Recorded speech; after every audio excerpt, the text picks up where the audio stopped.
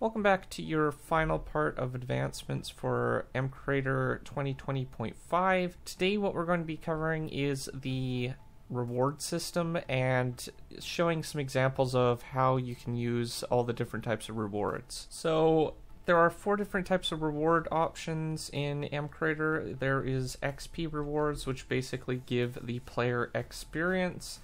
There is the reward function, so what this will do is it will run a series of commands. I'll explain how that all works in just a second, uh, like later in the video. And then there are reward loot tables, which can basically call loot tables that you've created already, and reward recipes, which is a really nice little addition that allows you to unlock specific recipes when you complete the actual advancement. So we'll start with the XP and I'll show you how that all works. Let's hop in game. Alright, so we're currently in game. If we go into our inventory, go to miscellaneous and then grab our starter generic item and place that in our inventory. As you can see, we have gained experience. So if we go into survival, so our game mode survival, and you can see that we have experience now. So that's basically the how the experience one works. It's basically the when you're actually giving the experience it's not the level that you're giving it's the amount of experience that you're get, giving. So obviously 100 only got us to level 7 of experience. It will vary depending on how much experience you give for that reward. So just something to note on Let's move to the next one. So we're back in our generic item. I'm just going to set our reward XP to zero. Now what we're going to do is run a function that I've created. Now the function that I've made is just off of the Minecraft wiki for functions. Basically what it does is it teleports the player up five blocks.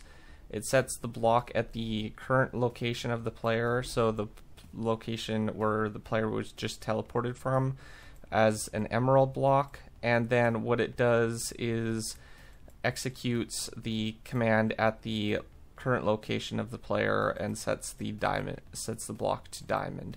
So this should run on any particular permission level, I think. I'm not entirely sure how functions all work, but it's under the Minecraft namespace, and we've given our uh, reward function or the function a uh, ID. So let's uh, hop in game and I'll show you how all this works. So we're now in game with the function enabled. So if we go to our inventory, grab the item, place it in our inventory, as you can see, it's run the function. So it placed the emerald block at the right below our feet and then it teleported us up five blocks and then basically placed a diamond block below our feet. So that's basically how that works with the functions. It just basically runs it at the player's location. Uh, this will vary depending on what commands you have and what system that you basically run it from, but that's basically what it does. So let's move on to the loot tables and I'll show you how that one will work. So I'm going to disable the function again and then what we're going to do is enable loot tables. So I have one already made.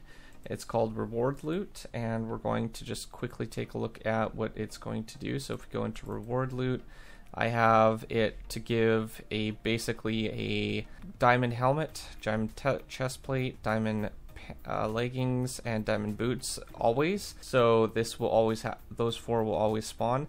And then what it's going to do is randomize a amount of items. So anywhere from a diamond gold ingot, iron ingot, or give emeralds, and the the weight and everything is varies depending on what one it basically gives. So that's basically that. Uh, to enable it, you just click the green plus icon, drop the, select the loot table you want, and then you're good to go. Just make sure to save it.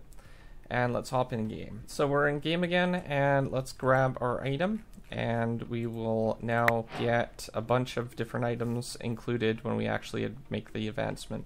So we got gold ingots this time, and we got a full set of diamond armor.